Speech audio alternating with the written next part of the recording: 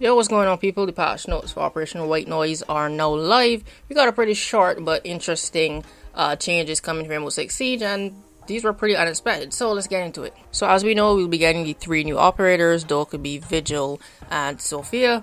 And we'll also be getting some new seasonal skins, and I am loving these one as well. Like they're just killing it every season uh, with the new customization. We have five new skins here, but the ones to the left and right are cut off.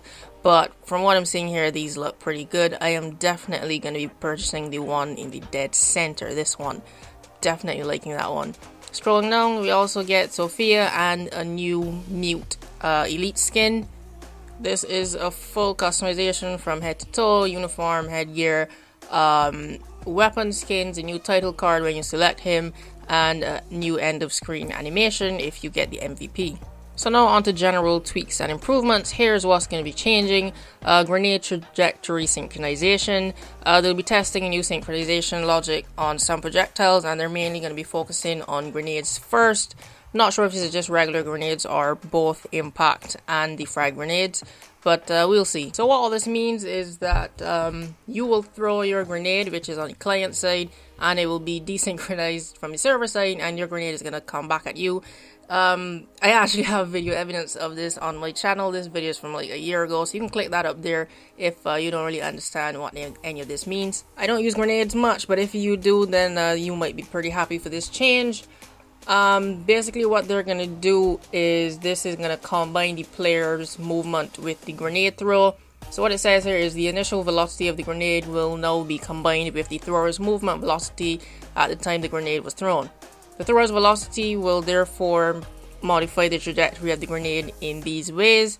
So if throwing a grenade while moving forward will result in a longer throw, throwing a grenade while moving backwards will result in a shorter throw, and if you're strafing left and right while you're throwing the grenade, this is going to affect the lateral movement of the grenade. So this change is currently in effect on the technical test server. So if you're on PC and you're in the TTS, then uh, throwing grenades might be a little bit different compared to the actual base game. Now what else is receiving changes are actually the pistols and their recoil. And it says we have changed the pistol animation for greater player comfort. Our overall goal is to make pistols a true choice for players and not just a last resort when you run out of bullets. And I, I can agree with that statement. I only really use my pistol um, when I'm out of bullets on my main weapon or for shooting at drones. So it also says before this change you always had to aim down the sight because the animation would make the barrel of the pistol tilt up in the middle of the screen where the bullet goes. And as a player you would then have to guess where the enemy is. And this issue is especially true if you were aiming for their head. Once again, I can agree with this statement. Uh, trying to headshot someone while using a pistol is kind of hard because it just like goes straight up in the middle of the air and kind of blocks the person altogether. And they've also increased the rate of fire on all the pistols so players can now shoot and empty their magazine significantly faster with these changes. They also made this change to tie into um, making the pistols more lethal. Once again, they want pistols to be your first choice and not just a last resort. So I'm pretty eager to uh, test out this change as well to pistols.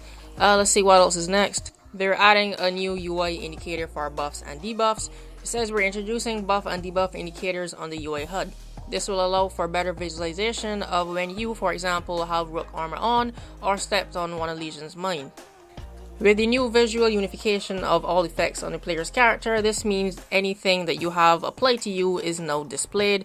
This includes Rook's armor, Jackal's mark, and if you're doing the marking as Jackal, Lesion's Gumine, and Dokkaebi's phone hack. And these will also be color coded.